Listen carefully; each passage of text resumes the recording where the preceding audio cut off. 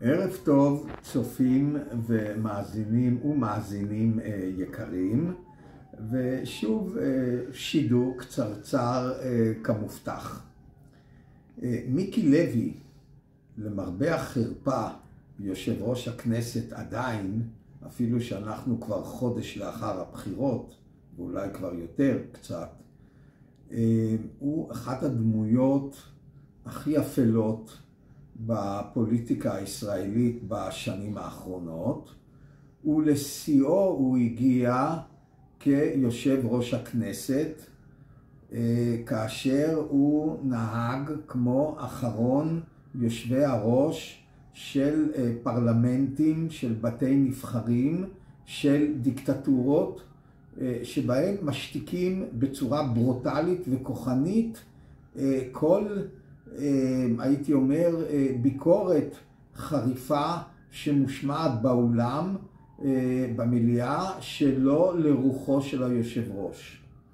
זו פעם ראשונה מקום המדינה שיושב ראש הכנסת היה מסלק מהכנסת מי שהיה קורא קריאת ביניים, ו...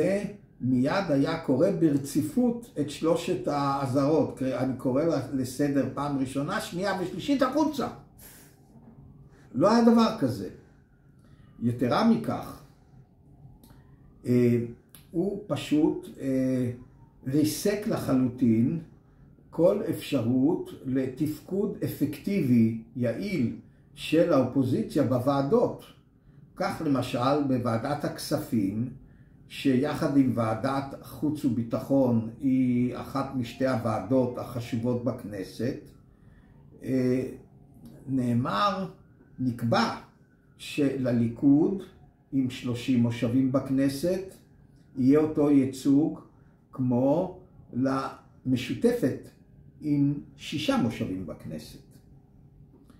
אה, ועוד ועוד ועוד, ודרך אגב, רוחו הקלוקלת והמבישה אה, נחה היטב על יושבי הראש אה, של הקואליציה בוועדות הכנסת שבהם הקואליציה, אה, יושבי ראש מטעמה ניהלו את הוועדות והם החלו להתנהג בדיוק כמוהו בוועדות. כלומר, האיש פשוט הרס לחלוטין את עבודת הכנסת בכנסת ה-24.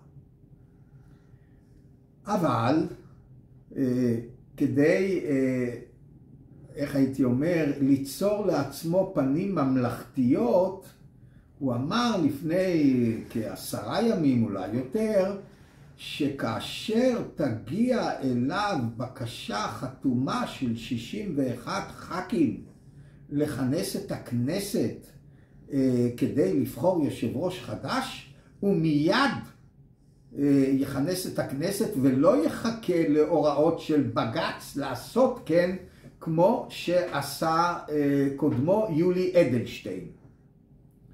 והנה ביום אה, שני בערב נשלחה אליו בקשה חתומה על ידי לא 61 ח"כים אלא על ידי 64 ח"כים שמבקשים ממנו לכנס את ישיבת הכנסת, את המליאה, כדי לבחור יושב ראש. שימו לב, יום שני בערב.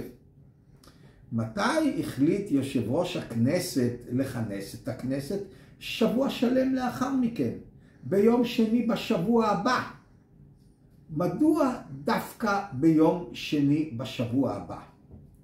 פשוט מאוד.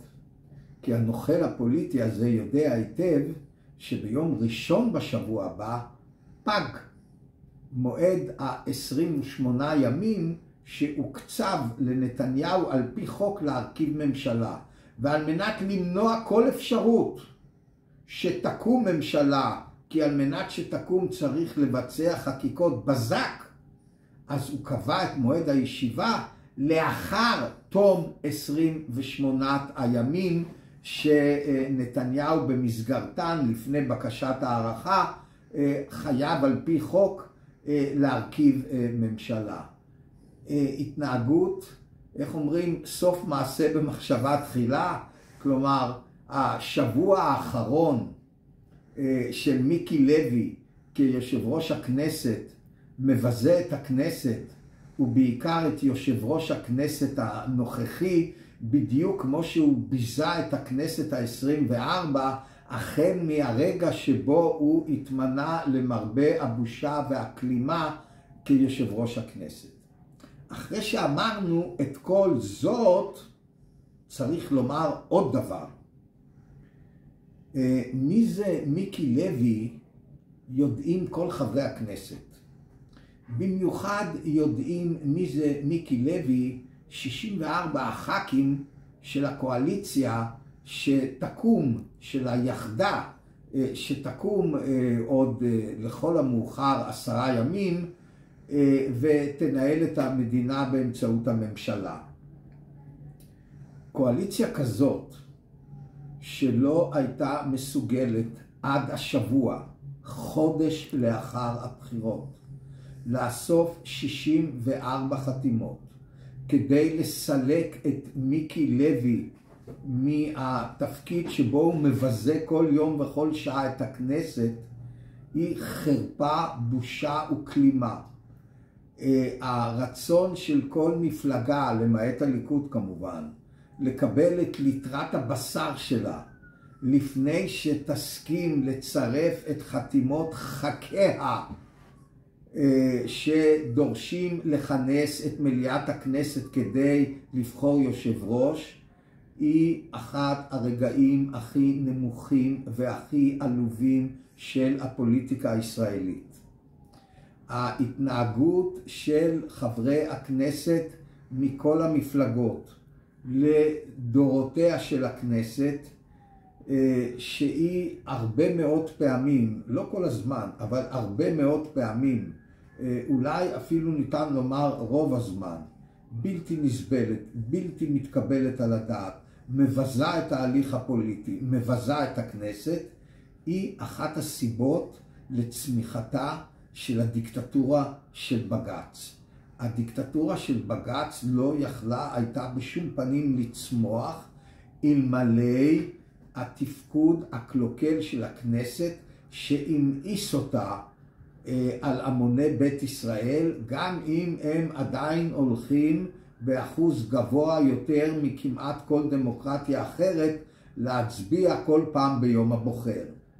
אבל שוב, אה, הח"כים של מפלגות קטנות שמרכיבות קואליציה אה, צריכים לדעת את מקומם ולא לסחוט את ליטרת הבשר האחרונה בטרם יעשה צעד כל כך מתבקש, כל כך מתחייב למען הניקיון של החיים הפוליטיים, למען הניקיון של הכנסת, כמו סילוקו של מיקי לוי מכס יושב ראש הכנסת. ואני מאוד מאוד מקווה שזה פעם אחרונה שישנה התנהלות כזאת של אה, שותפים שדרך אגב כולם אה, בפועל למעט ש"ס חד ספרתיים כי הציונות הדתית זה לא, אה, זה רשימה אחת אבל שלוש מפלגות שבתוך ימים אכן התפצלו לשלוש מפלגות כלומר למעט ש"ס עם קידומת 1, 11, אין אף סיעה בקואליציה עם שהיא דו-ספרתית. אז אה, אנא תתנהגו ותתנהלו בהתאם.